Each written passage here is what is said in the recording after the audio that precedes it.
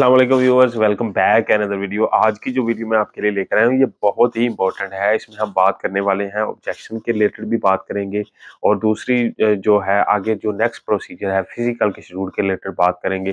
Phase one phase two के related बात करेंगे वीडियो को मुकम्मल देखें। बहुत सारी ऐसी इन्फॉर्मेशन है जो आप पर्सनली कोशिश करते हैं कि हमें बता दें। यार, मुझे समझ नहीं लगती।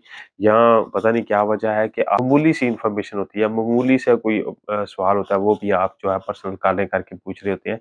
मैं ही नहीं, कोई भी आपको यूट्यूब पर जो है गाइड कर रहा है तो उसके पास इतना टाइम नहीं है कि वो आपकी, आपको हर सवालों के ही रिप्लाई दे, ठीक है? व्हाट्सएप की सहूलत आप मिली है, लेकिन आप इसका गलत इस्तेमाल कर रहे हैं। मैं ही नहीं, जो भी यूट्यूबर है, उसका ख्याल करेंगे यार, उसने टाइम मैनेजमेंट करना होता है और ज़्यादा से ज़्यादा उसकी कोशिश होती है कि मैं ज़्यादा से ज़्यादा इन्फॉर्मेशन जो है, लोगों को प्रोवाइड कर सकूँ। तो आप सबसे पहले सुन लें। ऑब्जेक्शन जो थे जि, जितने भी फ़ेज़ वन में के हैं सब के शेड्यूल आने शुरू हो गए हैं ठीक है? लाहौर के भी लगने शुरू हो गए हैं साहिवाल के मेरे पास आ गया वी का आ गया फ़ेज़ टू का था ठीक है? फ़ेज़ टू के भी कुछ लगे हैं ठीक है? उसके बाद खानेवाल का शेड्यूल आ गया फैसलाबाद का शेड्यूल आ गया खान काफ़ी ज़्यादा लिस्टें आ गई हैं ज़िलों की ठीक है? आगे इनका फ़िज़िकल शेड्यूल आएगा ठीक है? दो दिन आपको ऑब्जेक्शन के लिए मिले हैं जो भी ऑब्जेक्शन आया जो तो पॉसिबल है छोटे मोटे ऑब्जेक्शन है, वो तो आप क्लियर कर लेंगे, ठीक है? जो ऑब्जेक्शन बड़े हैं, जैसे कि डोमिसल पर आईडी जो है डेट ऑफ़ बर्थ और है सनत पर डेट ऑफ़ बर्थ और है तो वो भी नहीं क्लियर कर सकते। आप पर किसी किस्म की एफआईआर थी, उसका आपको प्रोसीजर का पता नहीं था, वो भी आप क्लियर नहीं कर सकते। आपके पास बहुत कम टाइम है कम टाइम है। दूसरी तरफ़ देखें जैसे ही लेटेस्ट जैसे ही वक्त गुजरा है, ज़्यादा से ज़्यादा जिद्दत आ रही है तो इन्फॉर्म जो है भर्ती का प्रोसेस भी फास्ट हो रहा है और उसमें काफ़ी ज़्यादा नई चीज़ें आ रही हैं। देखें, पहले जो होता था किसी पर कोई एफआईआर वगैरह होती थी तो वो लास्ट पे इंटरव्यू के बाद जाके आपके जो है ऑब्जेक्शन लगाया जाता था कि तब तक आपको टाइम भी मिल जाता था क्लियर भी कर लेते हैं अब देखें, उन्होंने पहले फ़र्स्ट टाइम ये ऑब्जेक्शन लगा दिया, ठीक है?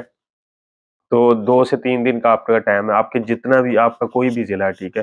फ़ेज़ वन में या फ़ेज़ टू में, अगर आपका ऑब्जेक्शन लिस्ट में नाम आ गया है तो ऑब्जेक्शन क्लियर कर दें। अगर ऑब्जेक्शन लिस्ट में आपका नाम नहीं आया तो फिर आपका फ़िज़िकल में शेड्यूल आ जाएगा, ठीक है? एक दो दिन में आपने हाइट या चेस्ट का जो भी शेड्यूल आता है, जो बूथ बनता है वहाँ पे आपने जाके फ़िज़िकल करवाना है। लेडी कांस्टेबल के लिए भी सेम प्रोसीजर है, चाहे वो किसी भी रिलेटेड है, ठीक है?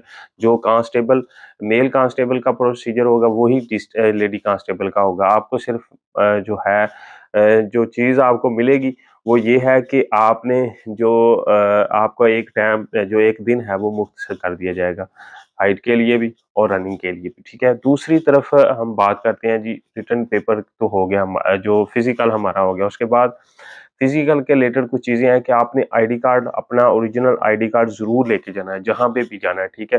रिटर्न पेपर के लिए जाएँ या फ़िज़िकल के लिए जाएँ। दूसरी तरफ़ आपको जो स्लूप स्लिप दी गई है भाई, इसको नहीं छोड़ना अब। इसको लेके जाना, अगर वो स्टैंप लगा देते हैं, ठीक है? तो अपने पास रखते हैं तो फिर भी ठीक है। अगर वो स्टैंप लगा के आपको दे देते हैं उसकी पिक्चरें ले लें उसकी कॉपी करवा लें, वो भी आपने अपने पास रखनी है, ठीक है? अगर रिटर्न पेपर में वो ही आपके काम आएगी, ठीक है? अगर आपने पास ना हुई तो फिर मसला बनेगा। तो अभी से इन चीज़ों पर गौर करें, ठीक है? दूसरा टोकर वालों ने अगर आईडी कार्ड आपका मिल गया, या आपका डोमिसाइल आपका मिल गया तो फिर आगे नेक्स्ट प्रोसीजर आपका चलेगा।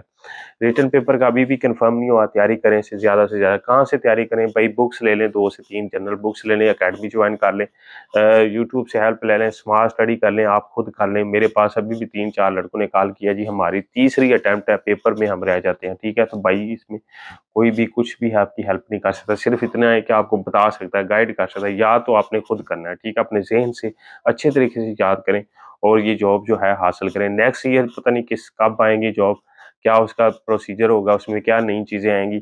तो इसके हवाले से आपने खुद अपने पेपर की तैयारी करें। खास तौर पर लड़के जो है पेपर में रहने हैं ठीक है, जेल पुलिस का सिस्टम जो है, वहाँ पे जो है रिटर्न पेपर सिर्फ़ पास मार्किंग कोड होती है, लेकिन पंजाब पुलिस में आपने जितने रिटर्न पेपर में ज़्यादा नंबर लिए, वो आपको फाइनल कर देंगे भर्ती में, ठीक है?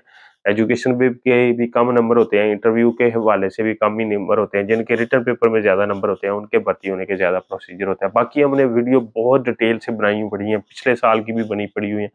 आगे जो नेक्स्ट प्रोसीजर आएगा वो भी मैं आपके साथ शेयर करता रहूँगा ठीक है?